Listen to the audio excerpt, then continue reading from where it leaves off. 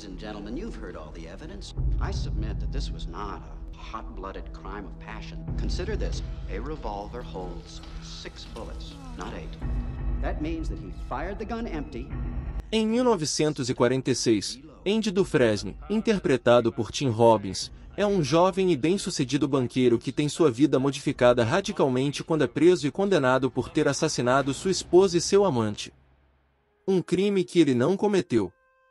Ele é mandado para uma prisão que é o pesadelo de qualquer detento, a penitenciária estadual de Shawshank, no Maine, para cumprir sua pena de prisão perpétua.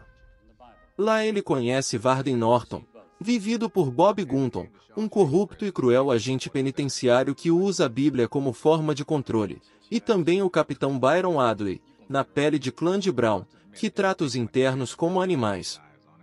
Confinado num ambiente cruel, violento e injusto, ele passará a conviver com agentes penitenciários corruptos e prisioneiros desumanos, que vão tirar tudo dele, exceto a esperança. Lá ele faz amizade com Elise Boyd Redding, vivido por Morgan Freeman, um preso que está cumprindo pena há 20 anos e que controla o mercado negro dentro da prisão. Mas, Andy se diferencia dos demais detentos, pois tem formação superior e era um executivo de alto escalão em um banco.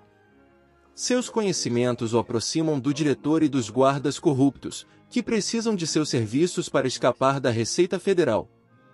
Mas, Andy não pode confiar nessa turma, e logo precisa de muita resiliência para manter intactos os seus valores e viva a esperança de escapar da injusta sentença perpétua que recebeu.